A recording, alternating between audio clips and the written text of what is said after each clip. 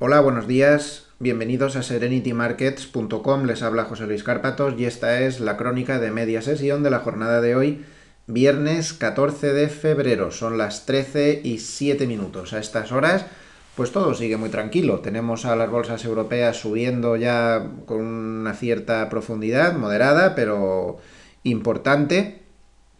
Y lo mismo en eh, Wall Street, que está en el mercado nocturno, menos el Dow Jones. Los demás pues están con subidas eh, moderadas. En divisas, poquitos cambios, menos la libra que está bajando 0,14 y, como no, el euro que aunque lentamente pues sigue acumulando pérdidas y ya estamos pues en niveles, los peores niveles del año 2017. No es de extrañar porque los datos macro siguen saliendo pues muy malos. El dato de Producto Interior Bruto eh, de Alemania pues ha quedado peor de lo esperado y el de la eurozona pues ha quedado en lo esperado en cuanto al trimestral, pero en interanual una décima aún peor de lo esperado, 0,9% cuando se esperaba 1%. Con esas perspectivas, pues no, no es muy lógico que, que el euro esté fuerte. Es lógico, por otro lado, que suban los bonos y ya saben lo que hay y las bolsas totalmente desconectadas de la realidad pues están al alza. Tenemos al alza los bonos y, eh, por, por, una cuestión eh, macro y tenemos al alza las bolsas que ignoran las cuestiones macro. El euro se está desplomando por cuestiones macro porque la economía de la zona euro está muy mal. Ahí lo tienen, un desplome muy serio. Los bonos están subiendo desde hace ya varios días porque los datos macro europeos pues están empeorando y las bolsas están pues en máximos históricos. El DAX al menos así eh, está hoy.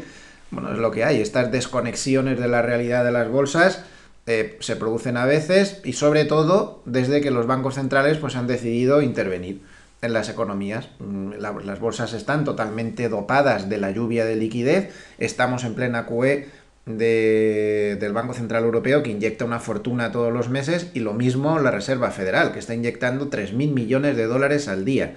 Nada menos. Esa es la razón por la cual las bolsas se han desconectado de la realidad. Mientras le sigan echando dinero con una manguera, y esa es la explicación de que las bolsas pues, pues estén así. Eh, sin embargo, hay compras de bonos y compra de todo. Hoy se estaban dando las cifras de entradas y salidas de, de dinero de los fondos de Bank of America y era curioso ver cómo había entrado una cantidad enorme de dinero en bonos, más de 23.000 millones de dólares, pero también había entrado en bolsa, más de 12.000 millones. Las bolsas eh, funcionan desconectadas completamente de la realidad y los bonos suben porque están eh, los operadores pues preocupados por, por, la realidad. Es curioso y paradójico, pero es lo que hay y esto es pues obra y gracia de los bancos centrales, así que las bolsas lo que hay que hacer pues es mirarlas por análisis técnico, ya que por fundamental pues no nos va a llevar a ningún lado y por análisis técnico pues tenemos un día de lo más interesante eh, con el futuro del DAX peleando por romper los máximos del día anterior.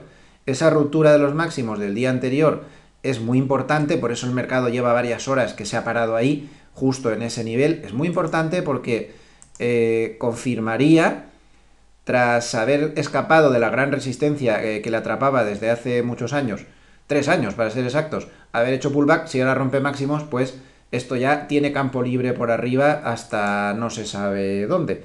Así que eh, pues claramente al alza y esto es un poco por la explicación de todos los movimientos. El petróleo hoy está bien con una subida del 1,38% y en sectores, pues como vemos eh, tenemos en rojo a bancos 0,19%, eh, no es mucho, materiales básicos ligeramente, cuidados de la salud, químicas, tecnológicas y el que más sube pues es utilities con 1,01% y automoción tiene mucho mérito esa subida de 0,22% con los malos resultados que ha dado Renault y el desplome que ha tenido esta madrugada su socio Nissan. Aunque sea poca cosa, pues merece la pena verlo. Utilities, que es muy defensivo, pues sube 1,02.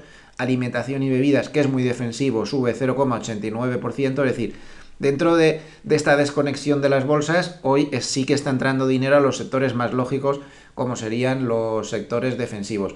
Eh, como aquí lo que hay que mirar es el técnico, pues desde el punto de vista del SP500, pues tenemos ahí la zona de techos del canal lateral, si rompe pues se puede ir a 3500 y por debajo pues soporte 3330. Eh, se ha publicado esta mañana la actualización del indicador Bull Bear de Bank of America, que ya saben que seguimos con muchísima atención, y ha bajado de 6,7 a 6,5. Recuerden que la zona de peligro está en 8 y Bank of America ha dicho que ellos siguen alcistas porque el indicador no ha llegado a 8 y porque no ven signos de capitulación alcista. Opinan que venderán su posición cuando el PER del SP500, que ahora mismo está en 18,8, caro, está muy caro, llegue a 20, donde ahí sí que ya ellos aconsejarían cerrar la posición. Nada más, jornada relativamente tranquila y ya a la espera de los importantes datos macro que tendremos a las 2 y media de ventas al por menor en Estados Unidos y a las 3 y cuarto de producción industrial. Recuerden que el lunes es festivo en Estados Unidos